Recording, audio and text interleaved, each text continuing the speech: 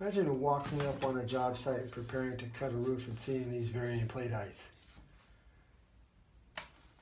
Roof framers know that you need to find your run first, then your pitch in order to find your rafter length. But this here is not easy to find your run. Where does the ridge go here if there's two different plate heights? And the answer is you have to find your factors for this pitch first. And this pitch is 712.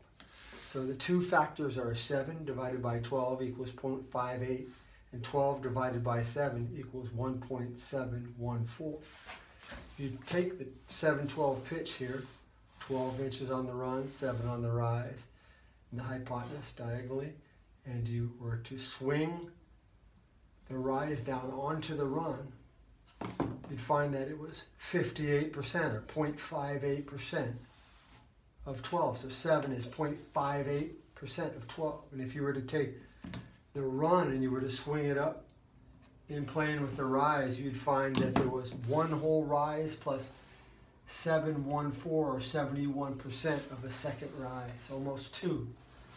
If this was 14 and this was 7, that'd be 2. But this is 1.71. Those are the factors of the rise to run and the run to rise. Here we have a rise of three inches and we want the new run.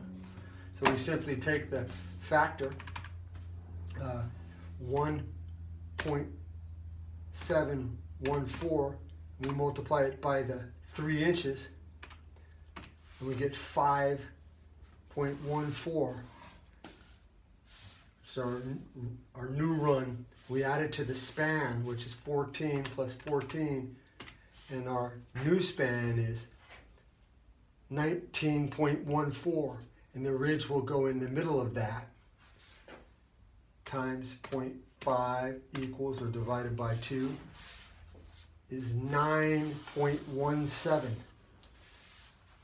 you write that down 9.1 sorry 9.57 is the center line if you had no ridge.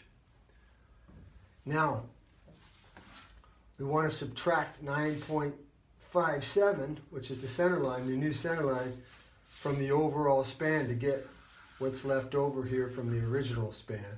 So minus 14 equals 4.429, 4.429.